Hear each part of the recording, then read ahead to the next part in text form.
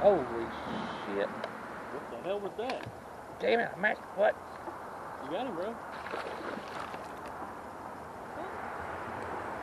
the hell is that? What is that?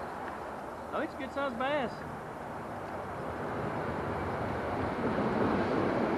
Man, we got the big one now. He's right there. Oh, bitch, where you going? He's a fighter. he can take you for a ride, bro.